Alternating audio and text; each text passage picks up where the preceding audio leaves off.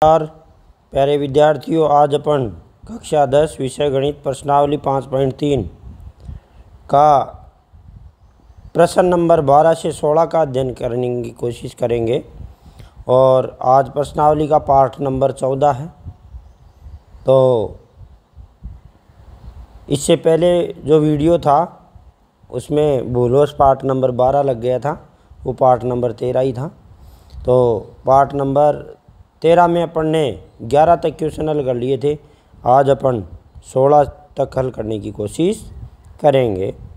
तो देखिए भाई, प्रश्न नंबर बारह। प्रश्न नंबर बारह है हमारा। देखो, ऐसे उदाहरण मैंने बहुत समझाए आपको। प्रश्न नंबर बारह।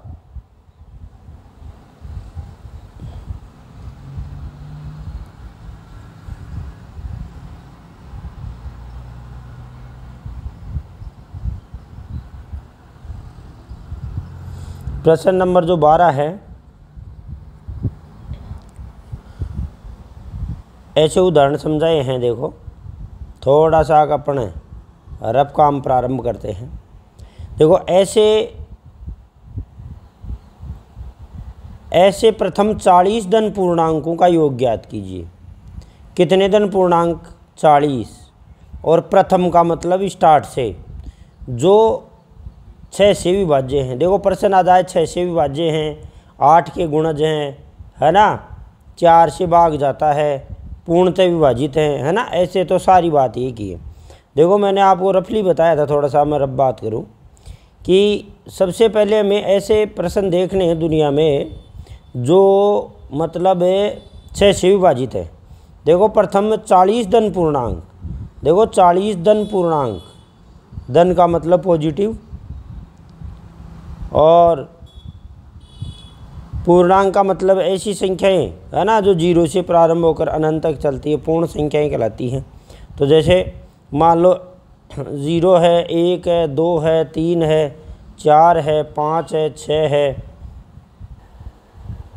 सात है, आठ है, नौ है, दस है, ग्यारह है, बारह है, ऐसे मतलब ये चलती रहेगी।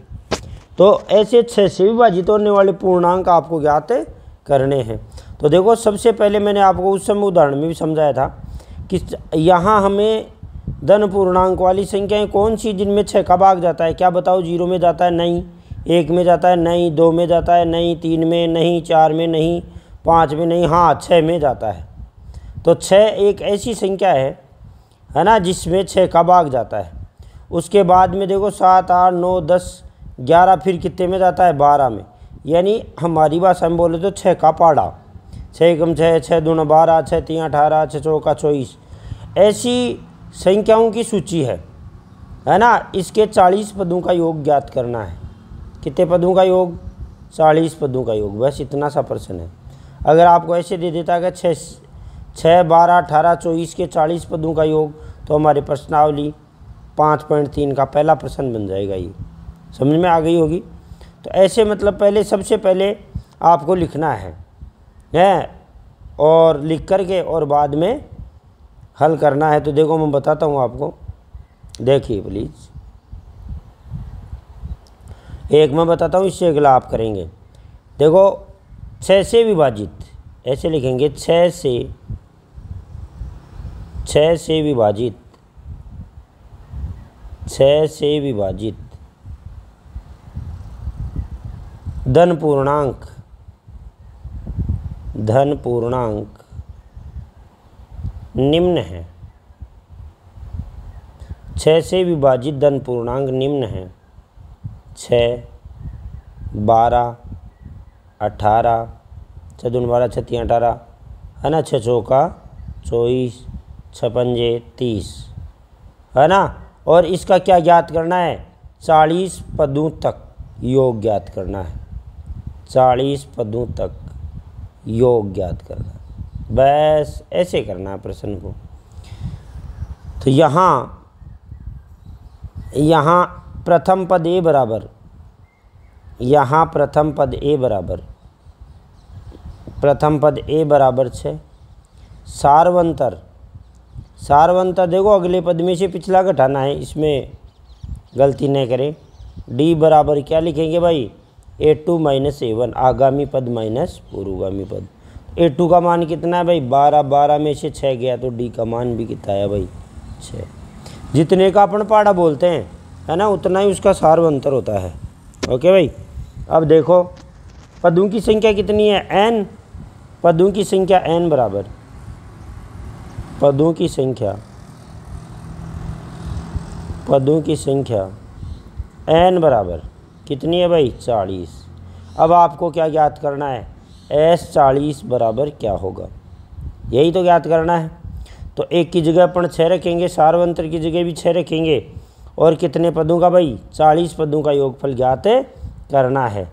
तो एस एन बराबर, एन बटा two two A plus, N minus one into D से। इस सूत्र से क्यों? यही सूत्र क्यों लगाया?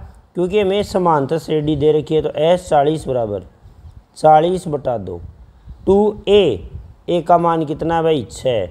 एन एन का मान चालीस माइनस एक और डी का मान भी कितना पुत्र है? छः। तो एस चालीस बराबर, ये तो कितना हो गया भाई? बीस। चालीस में दो का भाग दिया तो कितना है बीस। छः दूना कितना हो गया? बारह। और उनचालीस इंटू छः। उनचालीस इंटू छः। तो एस चालीस बराबर। एस चालीस बराबर, एस चालीस बराबर। एस चालीस का मतलब क्या है? एस चालीस का मतलब है चालीस पदों का योग। तो ट्वेंटी, ट्वेल्व है छः से गुणा करो इसको। तो नौ छिका चौवन का चार हासिल की कितनी हो गई भाई? पाँच। और छत्तीस, अठारह अठारह और पाँच। अठारह और पाँच तेईस तो दो सौ चौंतीस। दो सौ चौंतीस में बारह ऐड करो। बारह ऐड करिए तो कितना है भाई? है, चार चार और दो छः और तेईस और एक चौबीस दो सौ छियालीस। दो सौ छियालीस को किससे गुणा करो? बीस से। तो एक बिंदु तो सीधा ही लगा दो। छः दूना बारह का दो हासिल की एक, चार दूना आठ, एक नौ, हैं, हासिल की होती नहीं। और दो दूना कितना भाई? चार। तो कितना आया भाई? चार हज़ार नौ सौ बीस। तो आंसर को आंसर को आंसर की भाषा में लिखना है। क्या लिखना है भाई? अतः है अतः है इधर लिख देता हूँ। अतः, छः से छः से विभाज्य, अतः छः से विभाज्य, प्रथम प्रथम, चालीस, धन पूर्णांकों का योग, धन पूर्णांकों का योग चार हज़ार नौ सौ बीस है। ये हमारा क्या है भाई? आंसर। समझ गए होंगे पुत्र? लिख लें इसको आराम से।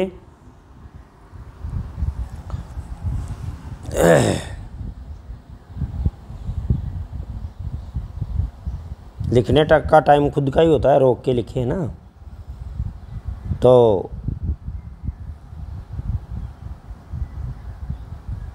एक बार रिपीट कर देता हूँ कि देखिए ज़रा आपका सीधा ही लिखना है आपको छः से विभाज्य धन पूर्णांक निम्न है। अब ये दोबारा इसलिए समझा रहा हूँ कि इससे अगला प्रश्न है ना आ, वो आपको करना है। क्या करना है? आपको करना है। है ना? तो उसमें तेरहवा प्रश्न है देखो मैं पहले प्रश्न दिखाऊँ उसके बाद में रिपीट करता हूँ। प्रश्न ये है कि आठ के प्रथम पंद्रह गुणजों का योग ज्ञात करो। गुणज कह दो, विभाज्य कह दो, या भाग जाने वाली संख्या ही कह दो, सबका मान एक ही है। तो बताओ यहाँ आठ के प्रथम पंद्रह गुणज कौन से हैं? बस आपको सीधा ही लिखना है। देखो अब समझा रहा हूँ कि आठ आठ दूना सोलह, आठ ती चौबीस, और इसके कितने गुणजों का? हैं, पंद्रह गुणजों का। यानी पंद्रह पदों तक क्या ज्ञात करना है भाई? योग ज्ञात करना है। समझ में आई पुत्र? अब देखिए ज़रा। है, अब इसमें ए का मान तो कितना है? आठ। और डी का मान कितना है? है ना? सोलह में से आठ गया। है ना? तो डी का मान कितना है भाई? आठ। और पदों की संख्या एन बराबर कितना है भाई? पंद्रह। सही? और कौन से सूत्र में रखेगा? एस एन बराबर एन बटा two two A plus N minus one into D में रखेगा और आ जाएगा। समझ गए बात को? तो देखिए, अपन बात करते हैं, दोबारा पिछला जो प्रश्न आपको समझाया तो उसमें ए का मान कितना? ए का मान देखो छः है? और डी का मान भी कितना? छः पदों की संख्या कितनी? चालीस। तो अपन ने इस सूत्र में रखा गया एन की जगह चालीस एक की जगह छः और डी की जगह चाल, ए की एन की जगह चालीस डी की जगह छः और इनको कैलकुलेट किया। कैलकुलेट करना खुद को आना चाहिए, है ना? इस भाषा में आप किसका करोगे भाई? इसका करोगे। समझ गए होंगे? है ना? तो अब नेक्स्ट पर्सन बात करते हैं अपन कौन से की भाई? चौदहवें क्वेश्चन की। चौदहवा क्वेश्चन भी ऐसा ही प्रश्न है, आज अलग ही प्रकार के प्रश्न एक बार ऐसा प्रश्न परीक्षा में आया हुआ है। ज़ीरो से लेके पचास के बीच विषम संख्याओं का योग ज्ञात कीजिए। देखो, थोड़ा समझते हैं पहले। कई बार तो प्रश्न क्या आता है कि ज़ीरो से लेके ज़रा सुनना ज़ीरो से लेके 250 तक ज़ीरो से लेके 250 तक है? सम संख्याओं का योग ज्ञात कीजिए। कि, किसका ज्ञात करना है? सम संख्याओं का योग ज्ञात कीजिए। कई बार ऐसे कहता है है ना कि भाई ज़ीरो से लेके सौ के बीच है? अभाज्य संख्याओं का योगफल ज्ञात कीजिए। है ना तो हमें ढूंढनी पड़ेगी क्या इस एक और सौ के मध्य भाज्य संख्याएँ कितनी है? ज़ीरो और सौ के मध्य सम संख्याएँ कितनी है? अब हमारे से प्रश्न पूछा गया है कि ज़ीरो और पचास के बीच में विषम संख्याएँ कौन सी हैं? लड़कों, लड़का कोई विषम संख्या और समी, विषम और सम नहीं जानेगा, है ना? तो वो कैसे करेगा? देखो लड़को, एक, तीन, पाँच, सात, नौ, ग्यारह, तेरह, ये संख्याएँ कौन सी है? विषम संख्याएँ। विषम संख्या की परिभाषा ऐसे है, जिसमें दो का भाग नहीं जाता है। दो का भाग नहीं जाता है। है ना? यानी ऐसी संख्याएँ, हमारी भाषा में बोल रहा हूँ, दो का भाग नहीं जाता है। नहीं तो क्या है कि ऐसी संख्याएँ जो दो से विभाज्य नहीं हैं, उन्हें क्या कहते हैं भाई? विषम संख्याएँ कहते हैं। और सम संख्याओं में दो का भाग पूरी पूरी बार जाता है। दो का भाग पूरी पूरी बार जाता है। पूरी पूरी बार जाता है। मतलब ऐसी संख्याएँ जो दो से पूर्णतः विभाजित हैं, उन्हें सम संख्याएँ कहते हैं। तो कौन कौन सी हैं सम संख्याएँ देखो सम संख्याएँ हैं दो, चार छः आठ, है ना? आप समझ गए होंगे अब सम संख्याएँ और अब भाज्य संख्याएँ कौन सी? इसमें स्वयं के अलावा, है ना? स्वयं के अलावा, स्वयं और एक भी होता है। स्वयं के अलावा दूसरी संख्या का भाग नहीं जाए। अलावा दूसरी का भाग दूसरी का भाग नहीं जाए। है ना? नहीं जाए। तो ऐसी संख्या को क्या कहते हैं? अभाज्य संख्याएँ कहते हैं। समझ गए भाई? हाँ। तो आपको अब जो पर्सन है, इसमें ज़ीरो से पचास के बीच में, ज़ीरो के पचास के बीच में आपको क्या ज्ञात करनी है भाई? विषम संख्याओं का योगफल ज्ञात है। करना तो सबसे पहले हमें ध्यान करना पड़ेगा, है? कि ज़ीरो और पचास के मध्य विषम संख्याएँ हैं कितनी? ज़ीरो और पचास के मध्य विषम संख्याएँ हैं कितनी? तो देखो ज़रा, देखते हैं। तो इसमें हमें ज़्यादा, है एक्स्ट्रा दिमाग ये लगाने की ज़रूरत नहीं है, सीधा ही लिखना है हमें। देखो, एक बार और समझाता हूँ। ठीक है भाई? ज़ीरो से लेके पचास तक मैं संख्याएँ लिखता हूँ। Zero, one, two, three, four, five, है, डॉट डॉट डॉट मान लो अड़तालीस, उनचास और पचास। अब देखो ज़रा आप ध्यान करना। ये प्रश्न पूछने के पैटर्न हैं और सूत्र तो वही लगने हैं। अब बताओ इनमें से कौन कौन सी संख्याएँ ऐसी हैं जो विषम हैं? इनमें से कौन कौन सी संख्याएँ ऐसी हैं जो विषम हैं? और पचास तक हैं। तो देखो क्या एक विषम है? हाँ एक विषम है तो एक को लिख दो। क्या दो है? नहीं, दो नहीं है। तीन है? हाँ तो एक, तीन, क्या चार सम है चार तो सम है विषम चाहिए हमें है ना? और ये पाँच हो गई। तो एक, तीन, पाँच, सात। अब लास्ट में कौन सी संख्या भी है क्या पचास भी समय? नहीं, ये तो समय। तो कितनी है भाई? उनचास। तो ऐसा प्रश्न अपन ने दूसरा प्रश्न किया है प्रश्नावली का। ये प्रश्न क्या है कि ऐसा प्रश्न था आपके क्या एक प्लस तीन प्लस पाँच प्लस सात प्लस उनचास का योगफल ज्ञात करो। है ना? तो सबसे पहले हमें ये ज्ञात करना पड़ता था कि ये गुंचास इस श्रेणी का कौन सा पद है है ना? तो पद से हमें एन का मान ज्ञात करना पड़ेगा। सही ना? तो इस प्रश्न में दोनों सूत्र लगते हैं। और परीक्षा में ऐसा ही प्रश्न आया हुआ था, है ना? शायद मेरे हिसाब से ऐसा था कि ज़ीरो से ढाई सौ के बीच में, हैं? चार के गुणज का योगफल ज्ञात करो। चार के गुणज का योगफल है, ज्ञात करो। तो चार के गुणज क्या होंगे? चार, आठ है ना? जैसे उदाहरण मैंने समझाया था, चार थी, बारह, डॉट डॉट लास्ट में कितने में भाग जाता है। तो सेम पैटर्न वही है। तो सबसे पहले हमें इस गुणचास से एन का मान ज्ञात करना पड़ेगा। यहाँ प्रथम पद कितना? प्रथम पद तो एक है। और सार्वंतर कितना है? इनमें दो दो का डिफरेंस है सब में। है ना? बस। मतलब सारे के सारे पद है ना, वो समांतर श्रेणी की परिभाषा को फॉलो करते हैं। समांतर श्रेणी की क्या परिभाषा लिखाई थी? कि प्रथम पद को छोड़कर अन्य पद को निश्चित संख्या जोड़ने या घटाने पर प्राप्त हो। तो ऐसी श्रेणी समांतर श्रेणी कहलाती है। तो ये समांतर श्रेणी है। समझ में आई? तो अब अपन इसको एक बार लिख देते हैं। इससे नेक्स्ट पर्सन जो ऐसे ही पैटर्न के हैं, वो आपको स्वयं करने हैं। तो लिखेंगे अपन हल। हल लिखेंगे भाई। हल।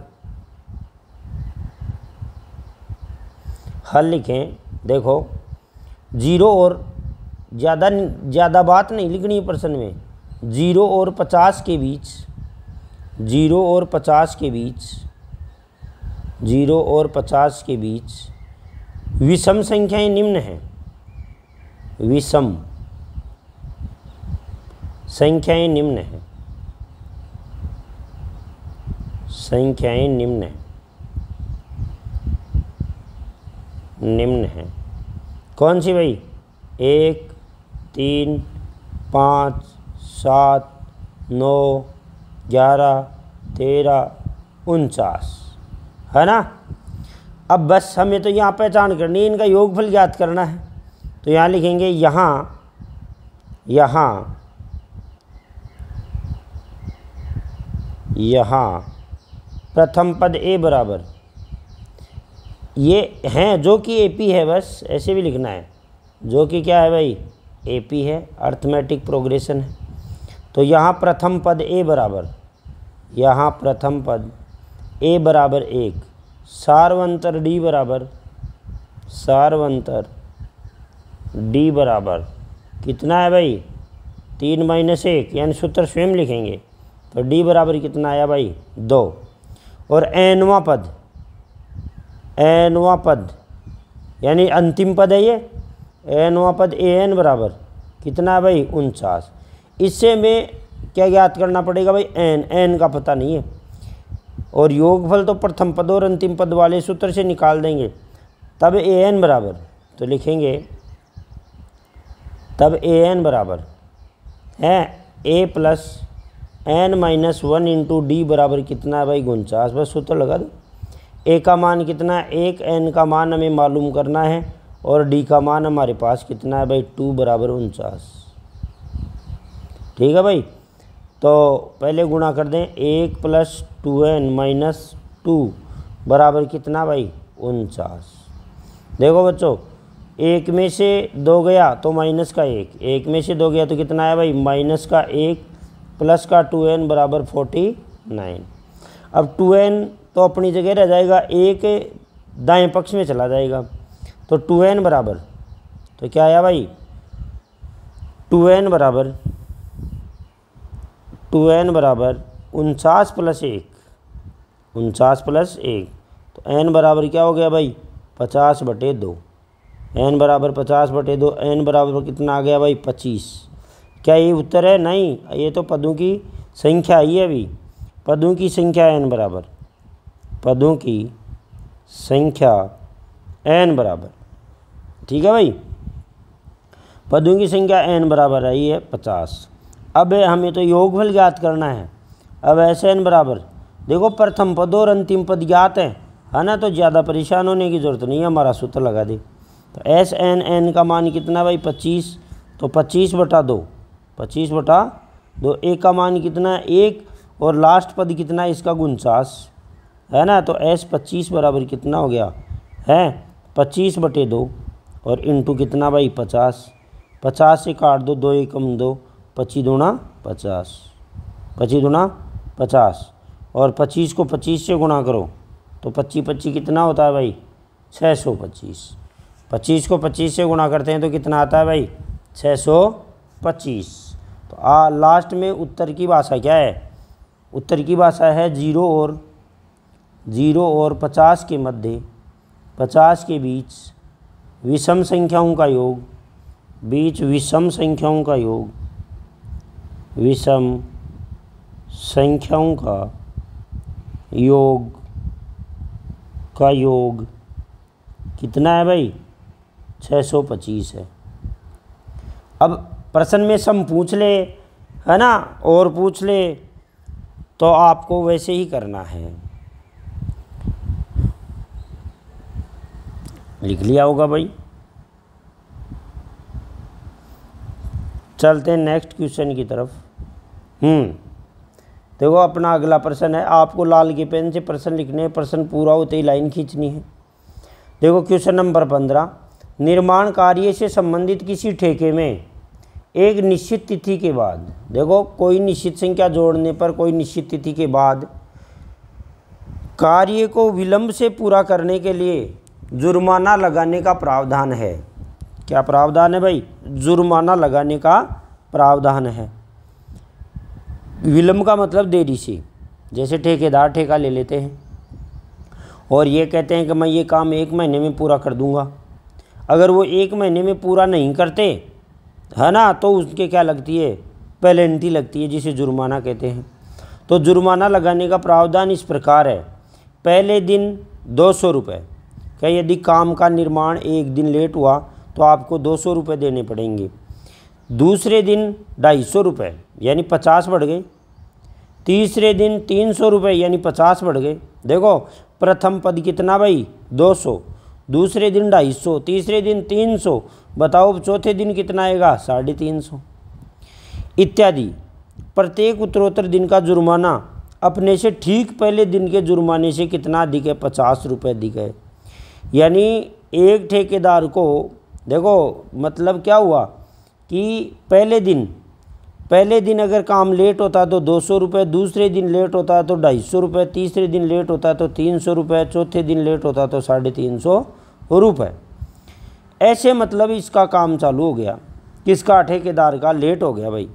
एक ठेकेदार को जुर्माने के रूप में कितनी राशि अदा करनी पड़ेगी? एक ठेकेदार है, उसका काम लेट हो गया। तो उसको कितनी राशि अदा करनी पड़ेगी कि वह कार्य तीस दिन विलम्ब कर देता है। तो तीस दिन की पेलेंटी लग गई उसकी। तो बता भाई, दो सौ रुपये पहले दिन की पेलेंटी है, दूसरे दिन की पेलेंटी ढाई सौ रुपये तीसरे दिन की पेलेंटी तीन सौ रुपये चौथे दिन की पेलेंटी साढ़े तीन सौ रुपये अब मैं ऐसे पूछूँ आपसे कि मान लो कि उस आदमी का काम दो दिन लेट हो गया तो उसको कितने रुपया देना पड़ेगा पेलेंटी के रूप में? तो देखो, कितना रुपया देना पड़ेगा बताओ? एक दिन का 200 दूसरे दिन का 250 तो दोनों दिन के मिला करके आपको कितने रुपए देने पड़ेंगे उसको?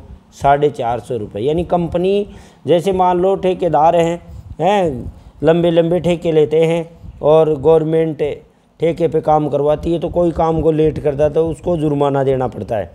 टाइम पे करता है तो गवर्नमेंट उसको टाइम पे पैसा दे देती है। तो उसकी कटौती हो जाती है या वापस देना पड़ता है। तो ऐसे ही मान लो ये ये पहले दिन के 200 लग गए, उसके तीसरे दिन के 300 चौथे दिन के, हैं, साढ़े तीन सौ, पाँचवें दिन के 400 ऐसे। तो उसको कितने दिनों तक? 30 दिनों तक, है ना, का योगफल जितना आएगा, उतना जुर्माना देना पड़ेगा। बात सही, गलत बताओ। उतना जुर्माना देना पड़ेगा। यानी हमारी श्रेणी बन गई भाई। हमारे, हमें ये प्रश्न कैसे पूछा गया? है कि भाई इस श्रेणी होने की वजह से दो सौ, ढाई सौ, तीन सौ, यानी प्रत्येक दिन पचास रुपये की वृद्धि होती है। तो प्रत्येक दिन यदि पचास रुपये की वृद्धि होती है है ना तो ये समांतर से श्रेणी निश्चित संख्या जुड़ रही है रोज़ाना में? है ना तो अब हमें तीस दिनों का योगफल ज्ञात करना है। समझ में आई होगी बात? भाई मैं क्या कहना चाहता हूँ? आप हैं, क्या सोच रहे हैं? तो आपको बस सीधा सा लिखना है कि जुर्माने के रूप में जो राशि दी जा रही है वो एक समांतर श्रेणी है। वो एक क्या है भाई? समांतर श्रेणी है और समांतर श्रेणी के हमें तीस पदों का योगफल ज्ञात करना है। ऐसा हमें प्रश्न वाले को दिखाते हुए प्रश्न को करना चालू करना है। तो करते देखो, पहली प्रश्न की शुरुआत। हाँ।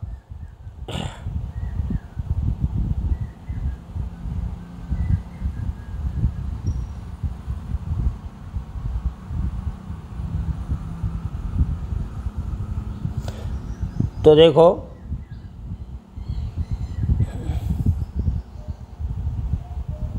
हम्म हल करते हैं।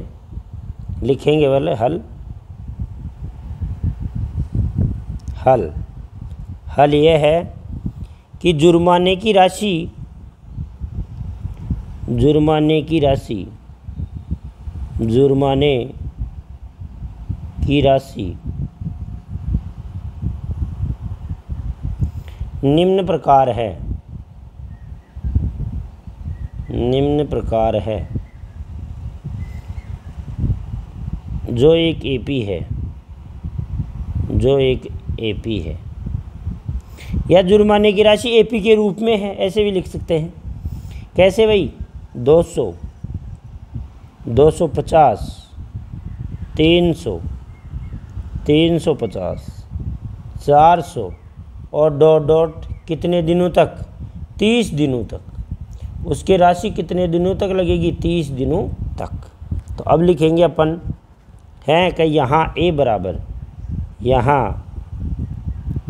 प्रथम पद ए बराबर, यहाँ प्रथम पद ए बराबर दो सौ रुपये, सार्वंतर डी बराबर, सार्वंतर डी बराबर, कितना है भाई? पचास रुपये। कितना भाई, यार रुपये से कोई मतलब नहीं है ना? ये तो हमारे तो यहाँ तो सार्वंतर के रूप में काम में आ रही। तीस दिन में पदों की संख्या, पदों की संख्या एन बराबर। पदों की संख्या एन बराबर। कितने दिन भाई? तीस दिन। अब एस एन बराबर। अब एस एन बराबर। अब एस एन बराबर एन बटा two two A plus N minus one into D से। देखो समांतर से डी दी गई है तो यही सूत्र लगेगा। तो तीस दिनों में वो आदमी है ना, कितना रुपया पेनल्टी के रूप में दे देगा? है ना ए का मान दो सौ है एन का मान तीस है, तीस माइनस एक और डी का मान पचास रुपया था। तो एस तीस बराबर एस तीस बराबर हो गया बाग दे दो भाई, बाग दे दो। है ना? तो तीस में दो का भाग दिया तो पाँच आया, और दो सौ दूना चार सौ, और प्लस गुण तीस इंटू पचास। चलो भाई, एस तीस बराबर, पंद्रह, उनतीस को पचास से गुणा कर दो। तो देखो, ज़ीरो, पाँच से पाड़ा बोल दो नौ पंजे पैंतालीस का पाँच हासिल की चार, पाँच का पाड़ा बोल दो पाँच दूना दस और चार चौदह। तो कितना हो गया भाई? चौदह सौ पचास। तो एस तीस बराबर कितना हो गया? पंद्रह इंटू चौदह सौ और चार सौ कितना हो गया? अठारह सौ पचास। अठारह सौ पचास को अब अपन पंद्रह से गुणा कर देते हैं। तो देखो अठारह सौ पचास को पंद्रह से गुणा मैं करना आपको सिखा देता हूँ। पंद्रह का पाड़ा बोले ज़ीरो बार ज़ीरो, पंद्रह पौंड पिछहत्तर का पाँच, हासिल की सात। है? पंद्रह अंटा एक सौ बीस और सात, एक सौ सत्ताईस हासिल की बारह, और पंद्रह और बारह कितने हो गए भाई? सत्ताईस। तो सत्ताईस हज़ार सात सौ पचास। तो आपको तो यहाँ तो सीधा ही लिखना है बस। सत्ताईस हज़ार सात सौ पचास। उत्तर को, उत्तर की भाषा में देना है। तो अतः है, लिखेंगे अतः है, तीस दिनों की, तीस दिनों की जुर्माना राशि। तीस दिनों की जुर्माना राशि। सही कितनी है भाई? सत्ताईस हज़ार सात सौ पचास रुपये है। सत्ताईस हज़ार सात सौ पचास रुपये है। समझ में आ गई बात भाई? यानी हमें देखो प्रश्न में क्या करना है? एक ठेकेदार है, उसके एक दिन का जुर्माना दो सौ, दूसरे दिन का जुर्माना ढाई सौ। इसको ऐसे नहीं समझे कि भाई एक दिन का जुर्माना दो सौ और दो दिन का जुर्माना ढाई सौ। ना प्रतिदिन का जुर्माना है। आज एक दिन लेट हो गया तो दो सौ रुपये उसको देने पड़ेंगे। दो दिन लेट हो गया तो दो सौ और ढाई सौ। ऐसे एक दिन का दो सौ, दूसरे दिन का ढाई सौ। तो टोटल कितना हो गया? साढ़े चार सौ। तीसरे दिन उसको तीन सौ रुपये और देने पड़ेंगे। दो सौ भी देगा, ढाई सौ भी देगा और तीन सौ भी देगा। समझ में आ गई ना? और ऐसे ही मतलब तीस दिन उसका काम लेट हो गया। तो तीस दिन काम लेट हो गया तो हमारे पहले पद ये जो जो रुपए हैं जुर्माने के, ये एक समानता श्रेणी है। समानता श्रेणी है तो इसका पहला पद हमें दो सौ है, और सार्वंतर कितना आ गया भाई? पचास। पदों की संख्या कितनी आ गई भाई? तीस। और इस सूत्र में रख दिया और सत्ताईस हज़ार सात सौ और पचास रुपये उस आदमी के क्या लग गया भाई? जुर्माना लग गया। भाई जुर्माना तो लगेगा ही। काम समय पर करता। समय पर करता तो उसके जुर्माना नहीं लगता। समय पे नहीं लगा। काम उसका पूरा वो नहीं हुआ तो क्या लग गया उसके जुर्माना? सत्ताईस हज़ार सात सौ पचास रुपये लग गए भाई। अब देखिए भाई, सोलवा क्वेश्चन। आज शायद इस, इतने के लिए ही बोला था। तो चलो लास्ट क्वेश्चन अपन देखते हैं। देखो ज़रा। देखो, अपने जो प्रश्नावली पढ़ रहे हैं, हमारी प्रश्नावली है वो समांतर श्रेणी है। क्या है भाई? समांतर श्रेणी है। और समांतर श्रेणी में मतलब अपने ना, वो कई प्रकार के प्रश्न हल कर चुके हैं। और बड़े इजी प्रश्न है। पूरी प्रश्नावली होने के बाद में एक बार सभी विद्यार्थी है ना, आराम से पूरे प्रश्नों को देखें। पूरे प्रश्नों को जैसे ही आप देखोगे, है ना तो आपके मतलब प्रश्न ऐसे समझ में आ जाएँगे। सारे वीडियो एक साथ देखोगे तो कि एकदम बिल्कुल का भाई इस प्रश्नावली के तो पाँच नंबर हमारे पक्के हैं। दुनिया की सबसे सरलतम प्रश्नावली यही है। चलो भाई, फिर तो अपन थोड़ा सा आगे बढ़ते हुए पढ़ेंगे। बात करते हैं प्रश्न की, गुनगुनाना चालू करते हैं प्रश्न को, कि किसी स्कूल के विद्यार्थियों में को उनके समग्र शैक्षिक प्रदर्शन के लिए सात नगद पुरस्कार देने के लिए सात सौ रुपये की राशि रखी गई है। अरे भाई, इनाम बांटने हैं। क्या बांटने भाई? इनाम। इनाम बांटने हैं इनाम के रुपए कितने हैं? सात सौ। जैसे मान लो कि भाई आपने अच्छा प्रदर्शन किया और मैंने ये कहा किसी गुरुजी को कि ये सात सौ रुपये इन बच्चों में बांट दो। ये सात सौ रुपये इन बच्चों में बांट दो। फिर कहा गया, देखो, सात सौ रुपये की राशि रखी गई है। यदि प्रत्येक पुरस्कार अपने से ठीक पहले पुरस्कार से बीस रुपये कम है। मतलब पुरस्कार कितना कम है? बीस रुपये कम है। ठीक अपने से बीस रुपये कम है। तो प्रत्येक पुरस्कार का मान बताओ। तो मैंने क्या कह दिया गुरु जी को? कि जैसे मान लो ये, भाई बच्चों को कितने रुपए बांटने हैं? कि सात सौ रुपये बांटने हैं। कि सर कैसे बांटे? कि प्रत्येक बच्चे को। प्रत्येक बच्चे को, है ना? प्रत्येक बच्चे को अपने से जो पिछला बच्चा है, उससे बीस रुपये कम देने हैं। मान लो कि एक बच्चे को पचास रुपये मिले, ध्यान देना तो दूसरे बच्चे को कितने मिलेंगे भाई? तीस ही मिलेंगे। सही ना? जैसे मान लो एक बच्चे को डेढ़ सौ रुपये मिले तो दूसरे बच्चे को कितने मिलेंगे? फिर एक सौ तीस। तीसरे बच्चे को कितने मिलेंगे भाई? एक सौ दस। ऐसे क्रम रख लो भाई। अब लड़कों, इस प्रश्न में आप देखो, पुरस्कार हैं कितने? पुरस्कार भाई, सात पुरस्कार हैं। कितने पुरस्कार हैं? सात। तो हमारे पदों की संख्या तो कितनी आ गई? सात। टोटल रुपए कितने हैं? सात सौ। तो हमारे सात पदों का योगफल क्या आ गया भाई? सात सौ। और प्रत्येक पुरस्कार का मान आपको ज्ञात करना है। इसका मतलब आपको प्रथम पद ए ज्ञात करना है। ए का पता लग गया तो उसके बाद में बीस रुपये ज़्यादा हो गए। ए टू, है ना? फिर बीस रुपये ज़्यादा हो गए। ए थ्री, यानी कम होते जाएँगे इसमें। इसमें क्या होते जाएँगे भाई? प्रथम पुरस्कार की राशि तो क्या आएगी? हैं? सबसे ज़्यादा आएगी। उसमें से बीस रुपये कम कर देंगे, है ना? तो ए टू आ जाएगा।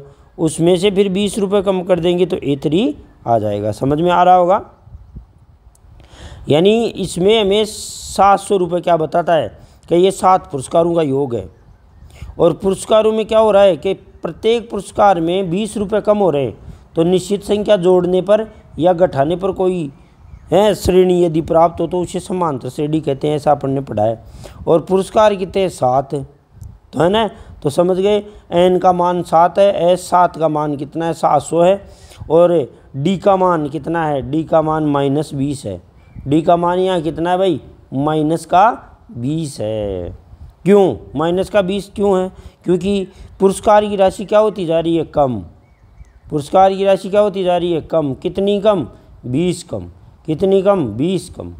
तो हमें इस श्रेणी का पहला पद ज्ञात करना है। पहले पद में से बीस रुपये घटा देंगे, दूसरा आ जाएगा। और दूसरे में से बीस घटा देंगे, तीसरा आ जाएगा। तीसरे में से बीस घटा देंगे, अगला आ जाएगा। ओके भाई? तो अपन बात करते हैं, है ना? और देखो।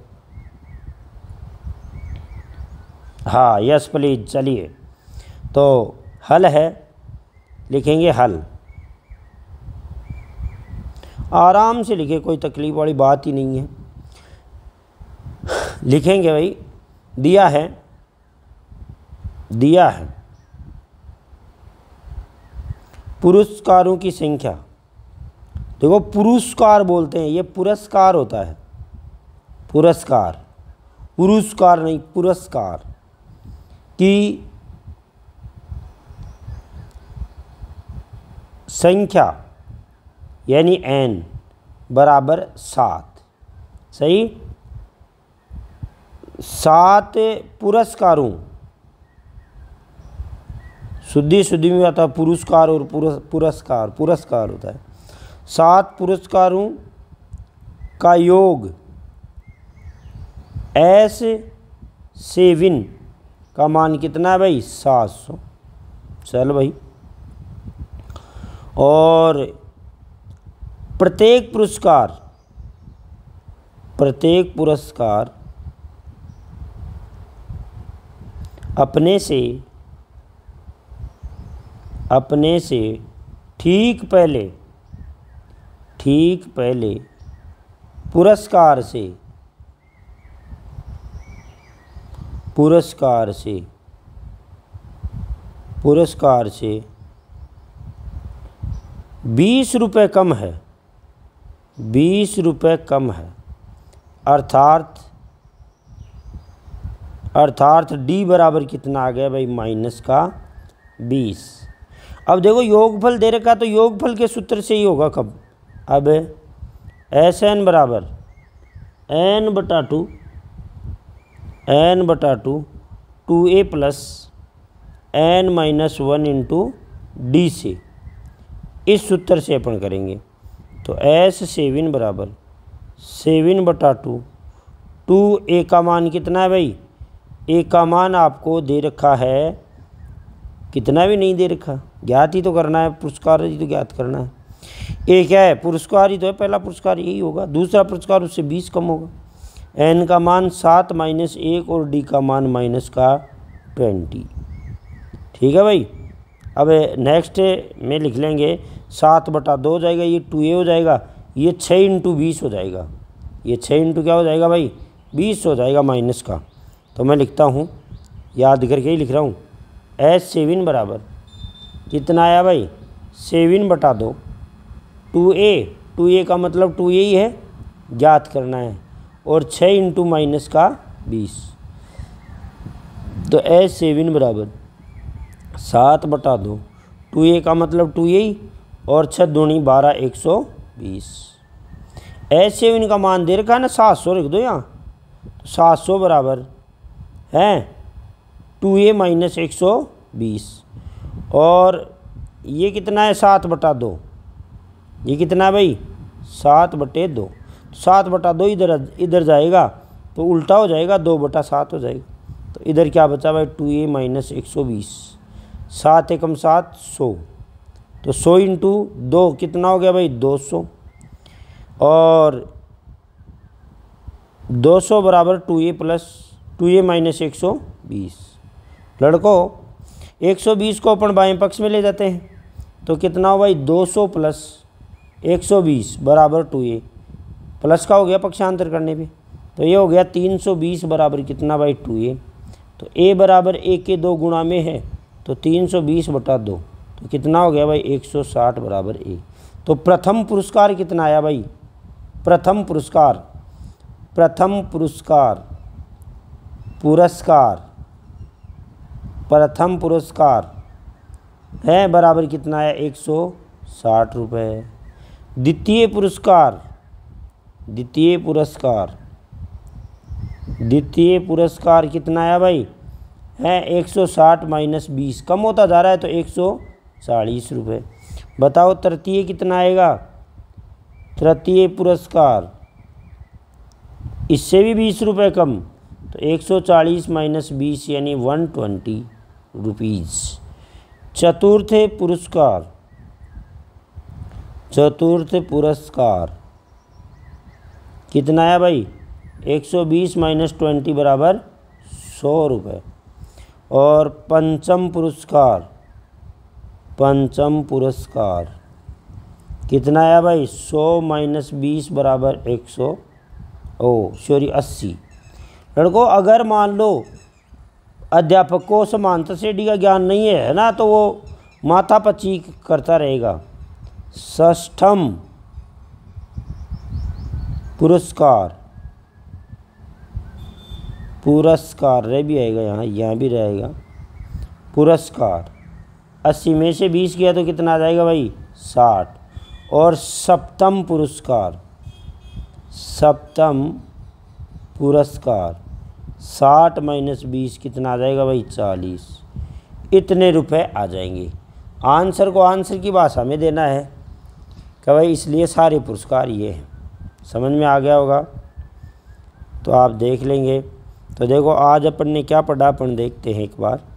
क्विक रिवीजन कर लेते हैं।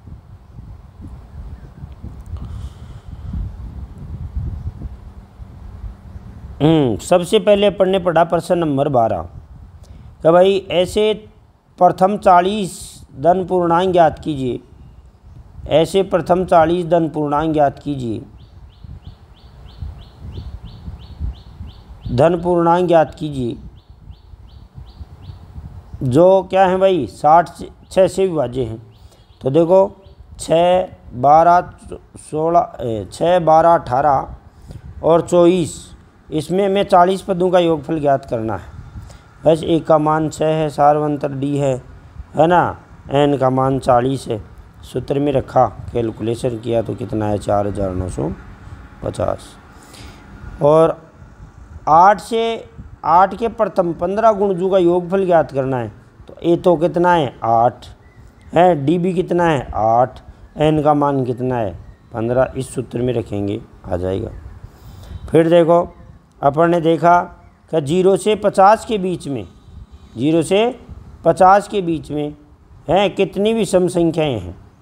तो ज़ीरो से पचास के बीच में देखो, ज़ीरो से पचास के बीच में विषम संख्याएँ एक, तीन, पाँच, सात हैं और लास्ट की कितनी है? गुनचास तो गुनचास ये कौन सा पद है? तो अपन ने ए एन बराबर गुनचास लेके और एन का मान निकाला। एन का मान कितना आया भाई? एन का मान हमारे पास पच्चीस आया। तो फिर एस एन बराबर एन बटा टू ए प्लस एल वाले सूत्र में अपन ने रख दिया, है ना? तो एस एन बराबर पच्चीस बटा दो, एक प्लस कितना आ गया भाई? उनचास। एक प्लस उनचास। तो फिर अपन ने हल किया तो पच्चीस इंटू पच्चीस कितना आया भाई? छः सौ पचास। देखो, कैलकुलेशन तो स्वयं को करनी पड़ेगी। जुर्माने की राशि पहले दिन 200 दूसरे दिन 250 तीसरे दिन 300 चौथे दिन। तो ऐसे 30 दिनों का उसके क्या जुर्माना लगेगा? तो हमें दो सौ रुपये प्रथम पद सार्वंतर डी पचास रुपये, एन का मान तीस है, और तीस पदों का योगफल अपन ने याद किया। तो भाई रे, ठेकादार जी के सत्ताईस हज़ार सात सौ रुपये। क्या हो गए भाई? है? जुर्माने के लग गए। फिर है, किसी स्कूल में सात सौ रुपये बच्चों में बांटने हैं। कितने बच्चों में बांटने हैं? सात में। तो पदों की संख्या सात। फिर है, कितना डिफरेंस है? अपने से ठीक पहले पुरस्कार में बीस रुपये कम। है ना? तो बीस रुपये कम इसका मतलब सार्वंतर माइनस का बीस है। पदों की संख्या सात है, एक का मान ज्ञात करना है। एक का मान अपन ने इसी सूत्र में एस एन बराबर एन बटा two, A plus, two A plus N minus one into D में रखने पर। तो रखा तो ए का मान कितना आया हमारे भाई? 160 160 में से 20 कम हुआ तो 140 140 में से 20 कम हुआ 120 है 120 में से 20 कम हुआ 100 100 में से 20 कम हुआ 80 अस्सी में से 20 कम हुआ 40 तो लास्ट वाले विद्यार्थी को चालीस रुपये मिले फ़र्स्ट वाले विद्यार्थी को एक सौ साठ रुपये मिले। इस प्रकार आज हमारी क्लास है, यही क्या होती है? पूर्ण होती है। क्या होती है भाई? आज की कक्षा पूर्ण है। अब नेक्स्ट वीडियो है ना, वो हम, आपका पंद्रह नंबर होगा।